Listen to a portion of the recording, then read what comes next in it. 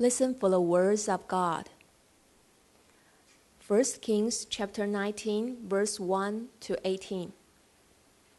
When Ahab got home, he told Jezebel everything Elijah had done, including the way he had killed all the prophets of Baal.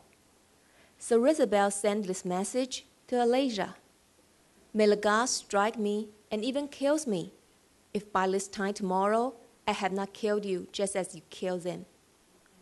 Elijah was afraid and fled for his life. He went to Beersheba, a town in Judah, and he left his servants there. Then he went on alone into the wilderness, traveling all day. He sat down under a solitary broom tree and prayed that he might die. I have had enough, Lord, he said. Take my life, for I am no better than my ancestors who have already died. Then he lay down and slept under the broom tree.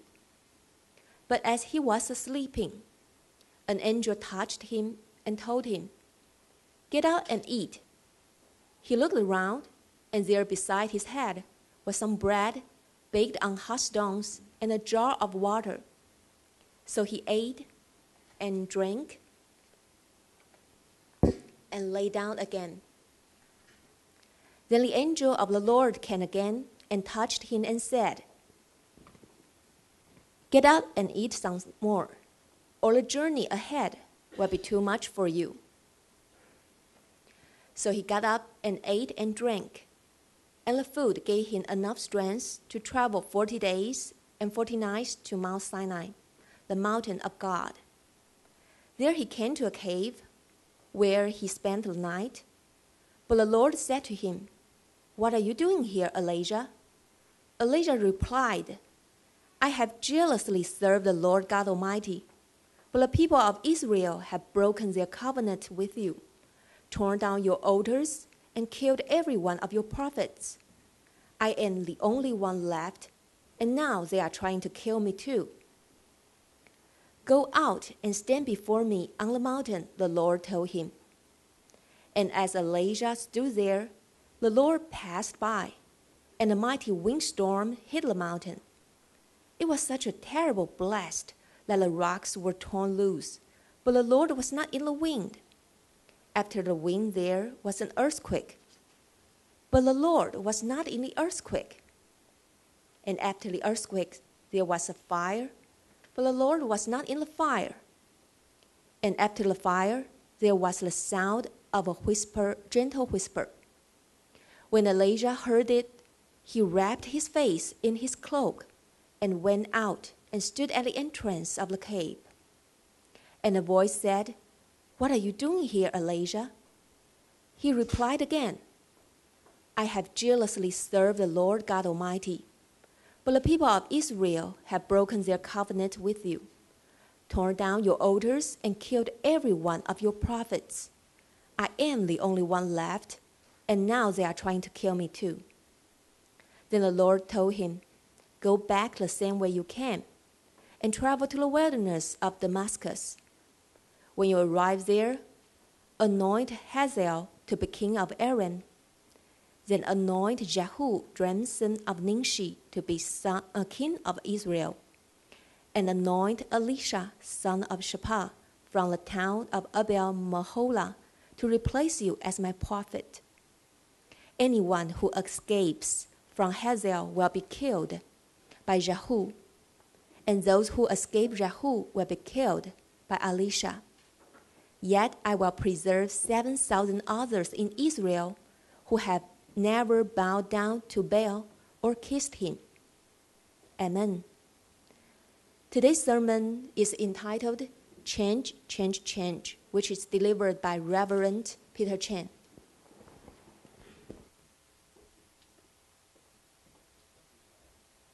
Uh, for reading God's Word to us. It's very nice to be back here to preach at EM. It's been a long time. Uh, the last time I preached here, I believe, was in July 2013. So at least two and a half years, almost three years.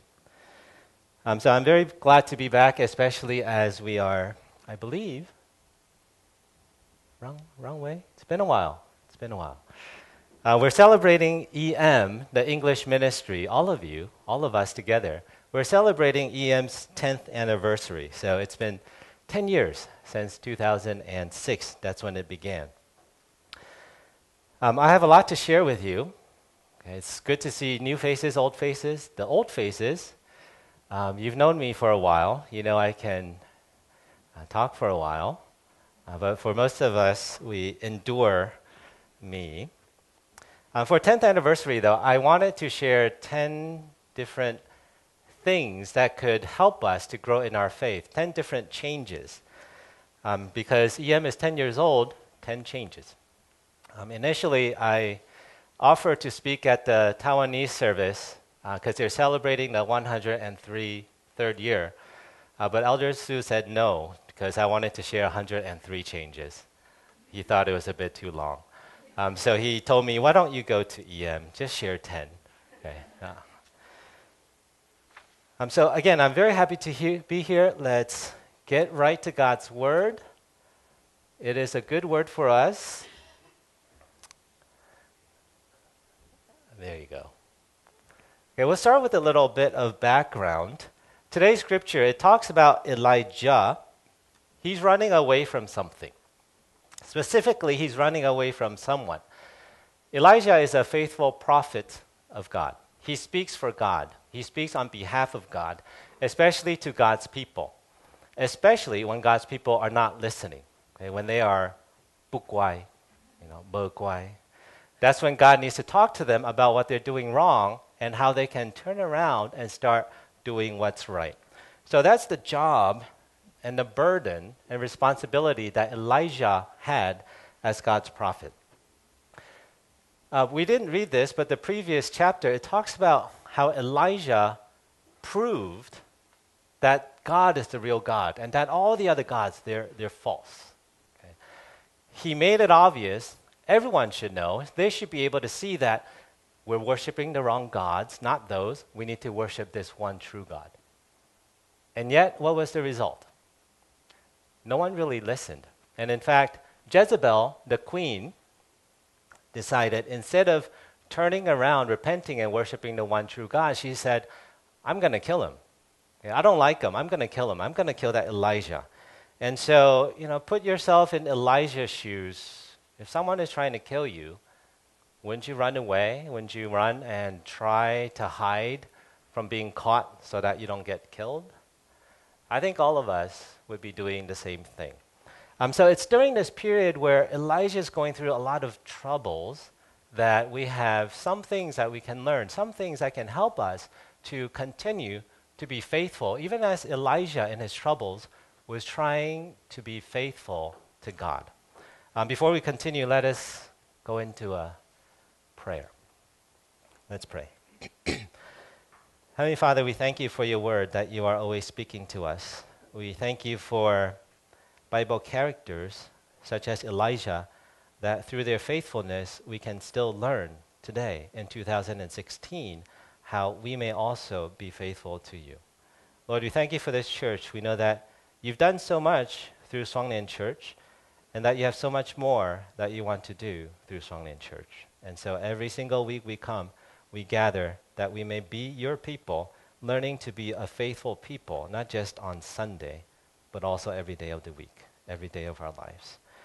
We just ask that you may bless these words that flow out of my mouth, that you may touch our hearts, our minds, and help us to keep on growing as your people. All this we pray in Jesus' name. Amen.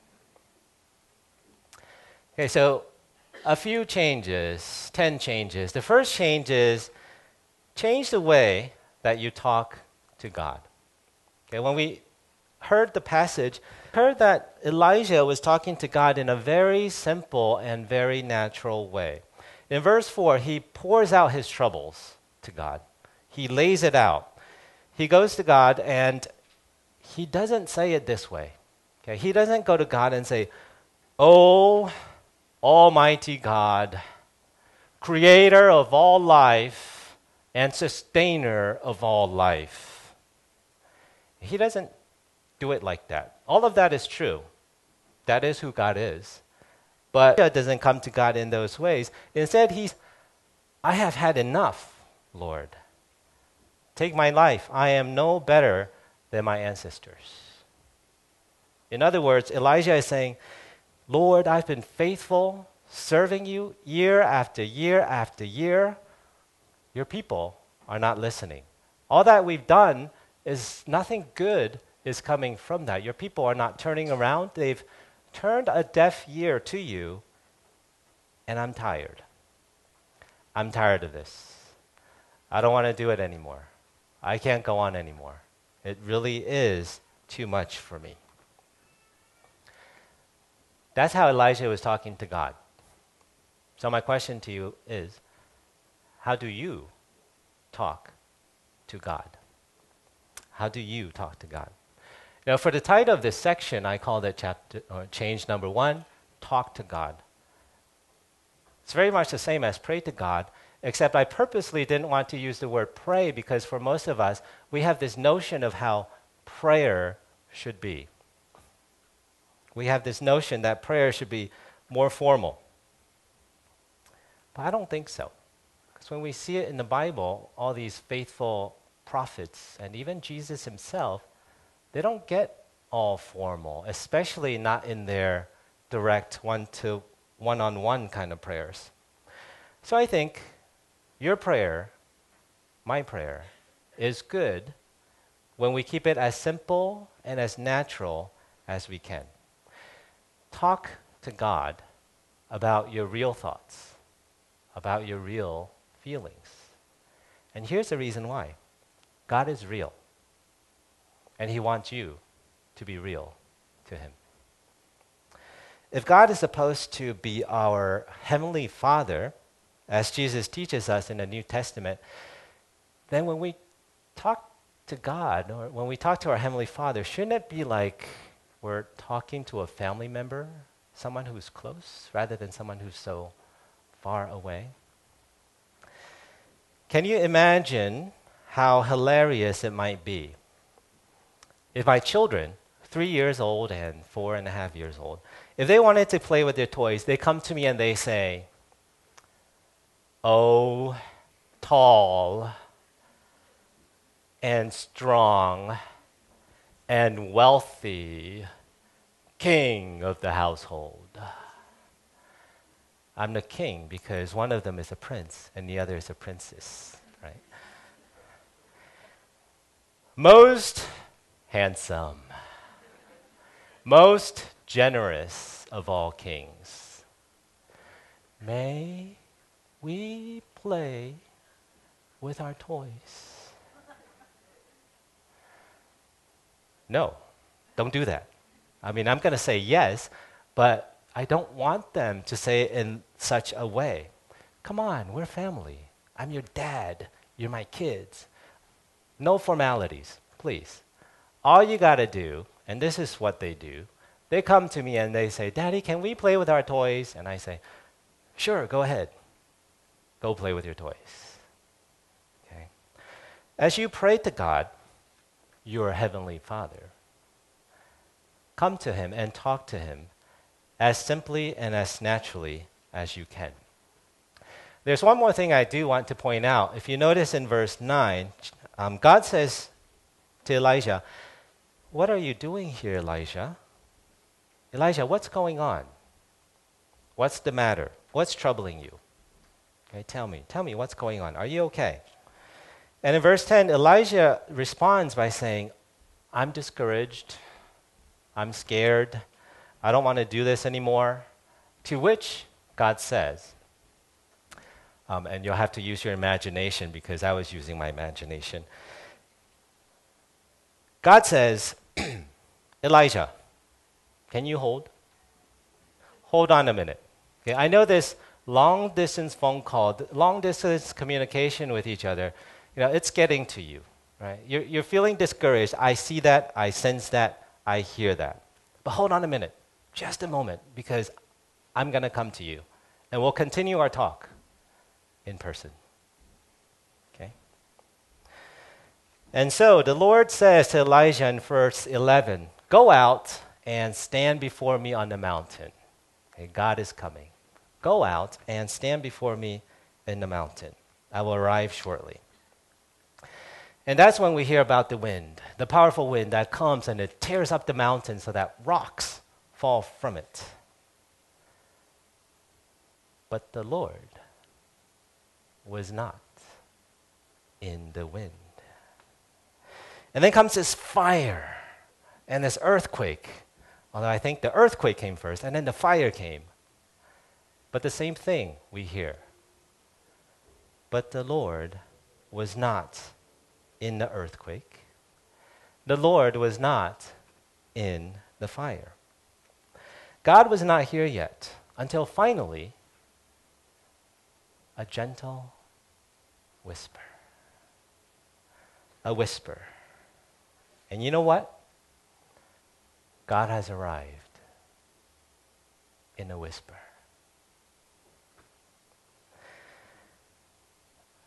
This point to me, it touched me. It was very important. Okay, so I'm going to show you a little something. Um, AVT, I'm turning off my microphone, so it's not broken. There's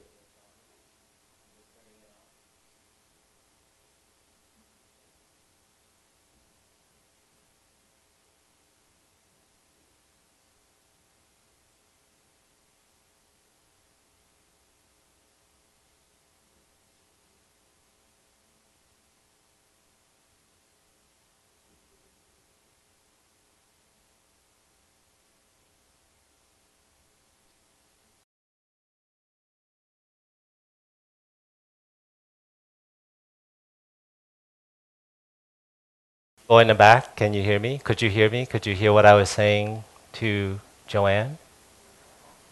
She heard it. Did you, people in the middle, did you hear what I was saying to Joanne? Did you hear? You're right behind her. Can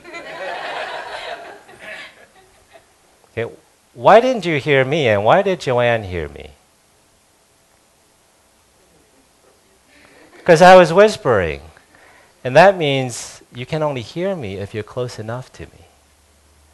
So, can you imagine just how close God was to Elijah?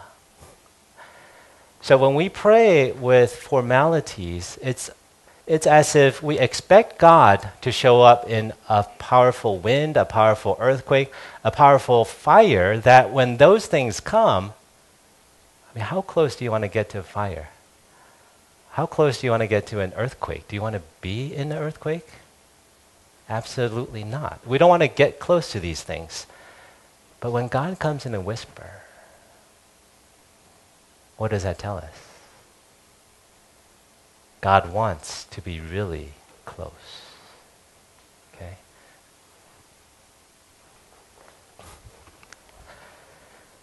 When we talk to God, let's not pretend or let's not make it as if God is sitting in the back of the room, as if we have to shout for God to hear us. Whisper when you talk to God. God will hear you. It tells us with this powerful contrast, um, those powerful things, and then this, not just a whisper, this gentle whisper, such a great contrast but it shows us that God is not only powerful, He is, but there's also another part of Him that sometimes we forget. God is very gentle, God is very personal. God wants to be intimate with us. He shows up to us in a whisper because God does not want to be far from us. He wants to be near to us. Okay? So I ask the question again, same question. How do you talk to God in your lives? If you're not already doing so, I would recommend that you talk to God anytime, all the time. Do it as simply, as naturally as you can. And that means, you know, sometimes when you feel like crying to God, cry to God. When you're happy, you feel like laughing with God, laugh with God. Ask Him questions. I know you have questions. We all have questions. I have so many questions I wonder if God ever gets fed up with me. And I know God doesn't because He likes my questions. God, how do I become a good parent? I'm still learning. God is still teaching me. Some of us were wondering, what do I do with my parents who are perhaps aging? How do I show my love to them and still provide for both families? Many of us were working, Lord, you know, should I quit this job? When I was here for seven years, everyone was asking me, Pastor Peter, should I quit my job? I said, I don't know, ask God. Some of us were thinking, should I you know, get a new job? Should I take this job offer? I ask questions, things like, Lord, I need a bicycle. A few of you in there know, I need a car. Okay, I've been looking for a new car to replace my 20 year old car. But even that 20 year old car we bought last year, it was the result of my talking to God. Right? So God wants to know these things. He wants to know what's going on in your lives. He wants to be close to us in our lives. Change the way you talk to God. Make your prayers more personal. No formalities, because that's the kind of relationship that God wants to have with you. Ah. Go back. Go forward. Second change. um, change the way you enter the church. Okay, in the passage from 1 Kings 19, verses 1 through 18, we've already noticed how discouraged Elijah has become. God has chosen him to be a prophet, to speak to his people, but he is just about to give up. Nothing is going right, and even when things do go right, you know, these miracles continue to happen, the people are not listening. They don't turn around and they're not coming back to faith in God. In his struggles, there was this one thing that stood out to me, something in particular as Elijah was complaining. As he was complaining, he feels alone. He thinks and he believes, he truly believes that he's alone. He's the only person left who remains faithful to God. He says it twice. He says in verse 10, verse 14, I am the only one left, and now they are trying to kill me too. You know, God, I'm the only remaining faithful person, and when I'm dead, you're not going to have anyone who is faithful anymore to you on this planet. That might have been what Elijah was thinking. Is that true? It is true in Elijah's mind. He thinks he's the only one who's left. He obviously didn't have a group of other faithful people that he could go to, he could pray with, that could encourage one another. He was alone. For the most part in his career as a prophet, he was alone and he was running away from people in order to save himself.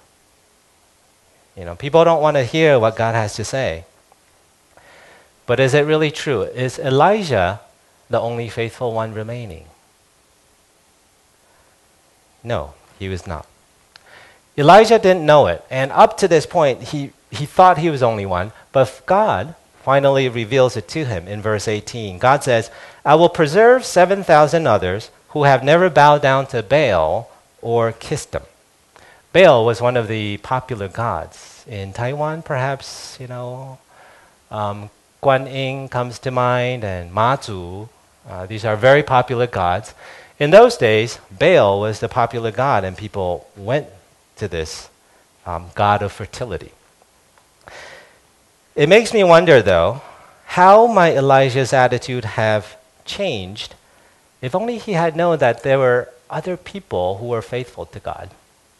He didn't see them, he didn't know about them, but what if he had known that there was not one other faithful person, that there was not two other or five or ten others, that there were not hundreds of others, but actually, God was preserving thousands of other faithful people. Elijah just did not know that.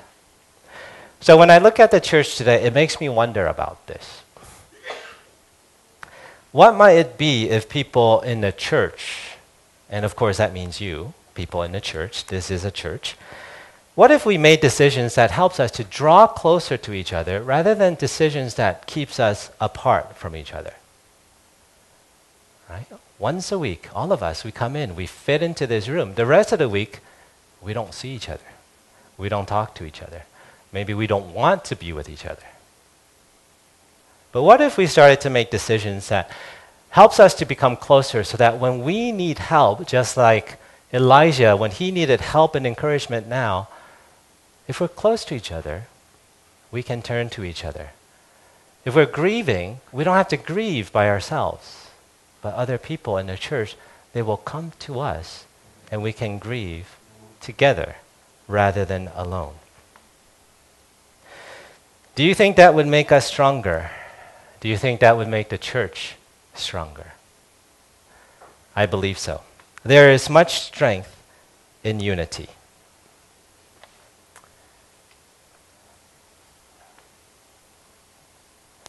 Um, I'm teaching at Tong University these days, English and business English. And uh, one of the fun things is I can't stand still anymore. I used to preach from the front, and I can't go anywhere. But now that I'm teaching at school, I just feel like it's not correct to simply stand in the front. So here I am at the entrance of this church, right? The EM. Here's the door. We all come in through this door. I remember when welcome table used to be outside, but now it's right here. When we enter the church, immediately there are choices that we have to make. My first choice, or my first choice that I have to make, is when I look at the room, I can turn left, go to the front. There are seats there. I could also turn right, go to the back, and there are seats there. Okay. How many of us, when we come in, we're thinking, I'm going to slip to the back? I'm going to hide in the back. I don't want anyone to see me because if it's a bad sermon, I'm leaving early. Because I have other things to do. Because, you know, after the church, there's so many people lined up for the elevator. I don't want to wait. I want to be the first to the elevator. Okay, I'm not looking to the right on purpose because I don't want to identify anyone. I'm just kidding. Uh, there are reasons why some people need to sit in the back. But what if we decided to make the better decision of I'm going to go to the left, to the front. I'm going to sit closer to where I can receive more from God, from worship. Okay, so I make that choice. I turn to the left. And now I have another choice that I have to make because look, there's a bunch of people here, and then, oh, there's some empty seats. Oh, I don't want to go that much farther. But there's a big hole here, there's no one there. Where should I sit? Should I sit there in the middle by myself so no one can talk to me? Or maybe do I want to go to that one empty seat and sit next to people? Let's say I decide to make the better choice as I enter the church that I'm going to sit right there. Long time no see. Once I've seated, I still have choices that I have to make. Am I going to talk to these people or am I going to pretend they don't even exist? Right? So I'll decide to talk to them. Good morning. Good morning. Of course, we'll find appropriate times to talk, and there will be times. But when we get to the end of the service, again, there are decisions we want to make. After the service, that's when you can actually talk to people without distracting people from worship. But do we do that? Or again, do we rush to the elevators because we want to get out of here? Right? Is that what the church is like? I want to get out of here? I don't think so. Or at least I don't think it should be because that doesn't help the church to get any stronger than it already is. So we're fortunate we have these choices that we can make, but Elijah didn't. He was alone. He was completely alone. He couldn't go to a church, there was none. There were no faithful people gathered that he knew of where he could go and receive from each other. Encourage me. I need to be encouraged. We do. We have choices. Look around you. I think you just did before, but look around you. There are so many people. You don't have to connect with every single one, but you should connect with at least a few.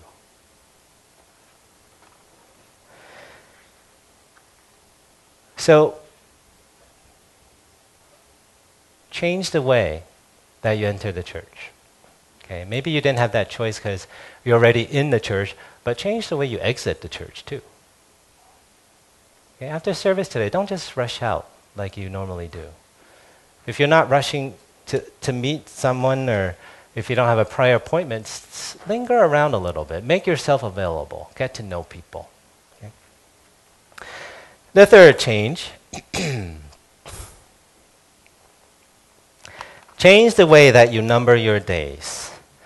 Okay, in the Bible passage today, we see that Elijah has come to the end of his days. And I find it really, really interesting. And at first, it was really, really confusing. There was this conversation that goes on between God and Elijah. They're talking uh, in verse 9 and 10. Okay. God asks Elijah, What are you doing here? To which Elijah answers, I have zealously served the Lord God Almighty, but the people of Israel have broken their covenant with you, torn down your altars, and killed every one of your prophets. I am the only one left, and now they are trying to kill me too. Verse 13 and 14. What are you doing here? God says. To which Elijah answers, I have zealously served the Lord God Almighty, but the, Lord, the people of Israel have broken their covenant with you, torn down your altars, and killed every one of your prophets. I'm the only one left, and now they are trying to kill me too. Same exact words, repeated. Why? That was confusing to me. Why does God ask the same question twice? Why does Elijah give the same answer twice? The Bible is very confusing sometimes. But I think there's a reason for that. I believe God was asking Elijah a second time because God wanted to confirm something with Elijah. What does God want to confirm with Elijah? God is asking Elijah, Are you sure? Are you sure you can't go on anymore? Are you sure this is it? Are you sure you've had enough? Are you sure that you're done with this prophet kind of job? Remember earlier, Elijah had said in, in uh, verse 4 Elijah says, I have had enough, Lord. Take my life, for I am no better than my ancestors who have already died. Elijah, are you sure? You're done. Are you sure? Apparently, Elijah is sure because he repeats himself. He says the exact same thing, he makes the same decision. And so God makes arrangements for his last days. Okay, we see that towards the end of the passage, verse 15 through 17. Um, God says, Elijah, go anoint Hazael to be king of Aram, anoint Jehu to be the king of Israel, and anoint Elisha to replace you as my prophet. You're sure, Elijah? Yes, I am sure. You will be replaced. Our text it ends with verse 18, but if we were to read one more verse in verse 19, it goes on to say, So Elijah went down from there, the mountain, and Elijah found Elisha, son of Shaphat. Elijah's days have come to an end. It's over. What about you? Where are you in your days? Maybe some of us were still young. Maybe some of us were still children, teenagers. And we think we have many, many more days. We have many, many more months, years, decades in our lives. There's a lot of time still. Maybe some of us were not as young, but we think, you know, five years, ten years, that's still plenty of time. Plenty of time to enjoy my life. But are you sure you have that many days left? See, each one of us, we have a birthday. You know exactly what month, what day, what year you were born. Maybe even what hour, what minute, what second. We look forward to that if we're still young. We look forward to our birthday to celebrate it. If we're older, we don't look forward to it and we don't want other people to know our birthdays. But you have a birthday, you know exactly when. I'm also sure each one of us, we have a death day. Each one of you is going to die, I am sure of it. And I will die too. It's fair. We get a birthday, we get a death day. Now, not very long ago, in, on February 6, 2016, there was this earthquake that came and hit Taiwan in the county of Pingtung. Magnitude of 6.7 on this other scale um, Mercalli intensity scale, it measured 7, which means very strong. It caused a lot of damage, and all of us, most of us, we've seen on television collapsed buildings. The news just played it over and over and over again. The earthquake caused a lot of damage. It also took the lives of 117 people. Did they know that their death day was going to be February 6, 2016? Did they know that today, March 13, 2016, they won't be alive anymore? Obviously, they didn't know. Had they known that time was short, would they have changed the way that they were living in January, a month before their death day? Would it have mattered? if they had numbered their days, knowing that maybe there's not so much more days to live. I have a feeling that they might, they would change the way that they were living. Um, being reminded of that, I think because as I was preparing for this sermon, I lived slightly differently this week. Okay, one of my two children, I'm not going to mention the name, but uh, she was being a little naughty. Okay, she's usually a very, very good child. But sometimes she gets a little bit naughty, especially when she's tired. And so daddy was getting angry. Okay, and daddy was thinking, I have to punish her. You know, it's for her own good.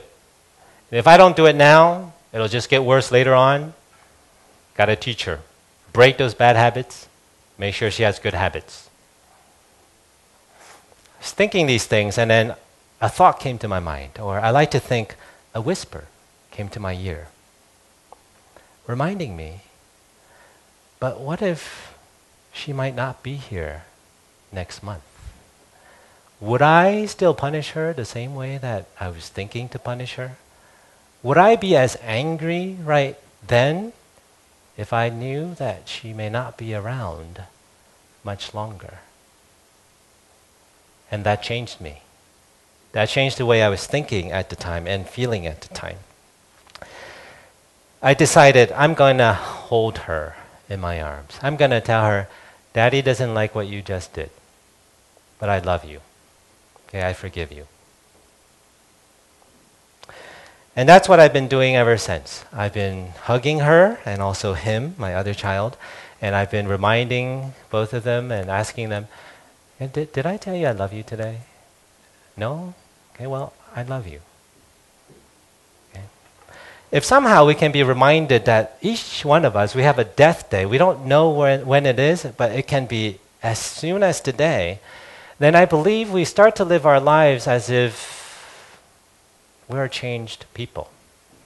If death day is not so far away, but instead it's a little closer than we might imagine, I believe many of us, we would change the way we think and do things in our lives. There are many problems in our families, including my own. There are many problems between husband and wife, between parents and children, with in laws, with, with friends. There are many problems in our society. In general, I believe our family members were getting farther and farther from each other, more and more distant. Okay? There are problems that we don't want to address. We work long hours. You know, we go to school. And after school, we go to another school. By the time we get home, everyone's tired. We don't want to spend time together. We don't want to spend quality time together. And there's this other thing about technology with tablets and smartphones, with internet and Wi Fi. You know, it's taking the quantity out of our time. It's also taking away the quality of the time that we spend together with each other. Are you sure you want your relationships to end the way they are today? Or are you going to do something about it? If death day is today, and not far and distant, but actually very close, I think we would start changing the way that we number our days. Um, so take a moment and remind each other. Turn to someone next to you and just say, Happy Death Day. Happy Death Day. Come on, I'm serious. Okay. Um, let's hope no one will go today, but again, we never know. One more thing about this.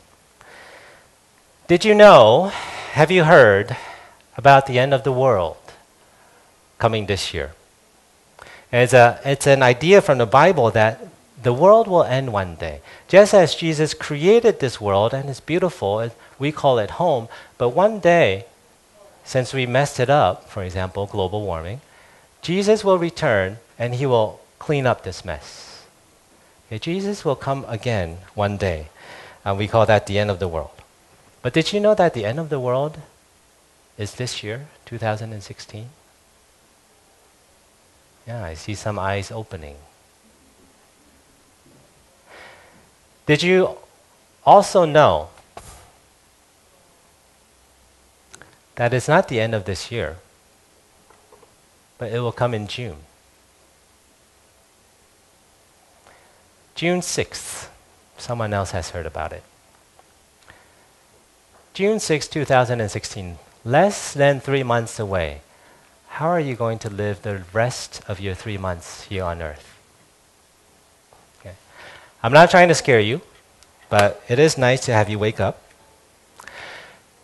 I'm a little doubtful about that myself. Um, if you want to, I don't think you need to. You know, you can go to the internet, you can search for these things. There are people who do calculations and they think June 6, 2016 is a good day, it's a good time. You know, it works out with some of the biblical prophecies.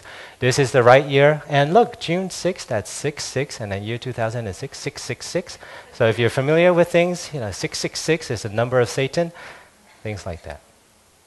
I'm very skeptical because whenever someone predicts that, and they've done it last year and the year before that and many, many years, they're always wrong. Right? Jesus will come back. Jesus knows exactly what day, but only Jesus knows. We don't. I'm uh, simply here to remind you that the end is probably a lot closer than we realize. And so if we don't number the way, number our days and live according to that, we are, many of us, wasting our lives, wasting our time, wasting our relationships. More importantly, as Christians, and we're not just to share our love with each other, but also to share God's love with others, especially those who don't know God yet. The good news is that for everyone who believes in Jesus Christ as Lord and Savior, they will not be destroyed, but they will be saved and just like the earth will be given a rebirth, so those who believe in Jesus will also be born again to have eternal life and to live forever. So, would you stop delaying and get more involved with your colleagues, with your classmates, with your teachers, with your students? Get more involved with them so that you can connect with them and have opportunities in which you can share Jesus with them.